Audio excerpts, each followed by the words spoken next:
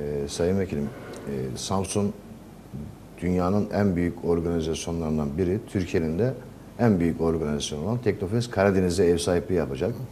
Bununla ilgili e, çalışmalarınız var mı partinizin, sizin? Şöyle tabii bunu belli bir grup yapıyor. Yani e, Sayın Selçuk Bayraktar'ın Evet. başında olduğu bir grup yapıyor. E, dolayısıyla bütün organizasyon onda. Bununla ilgili karar alındığından itibaren sağ olsun Sayın Valimiz, bütün siyasi partiler ve Selçuk Bayraktar'ın da olduğu o zaman pandemi dolayısıyla bir e, şey vardı. Bir araya gelme zorluğu vardı.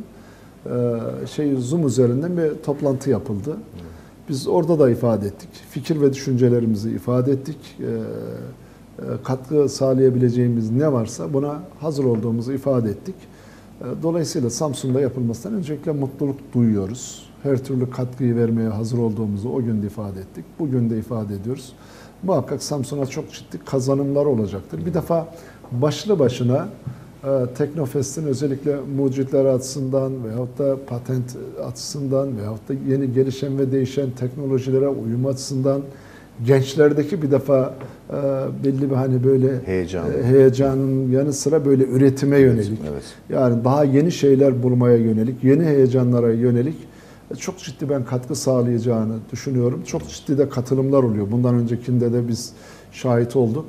E, Muhakkak Samsun'a da hem Samsun'a hem Samsun gençlerine hem ülkeye e, çok ciddi katkılar olacağını düşünüyorum. Bu arada Selçuk Bayraktar Bey'e de ben teşekkür ediyorum.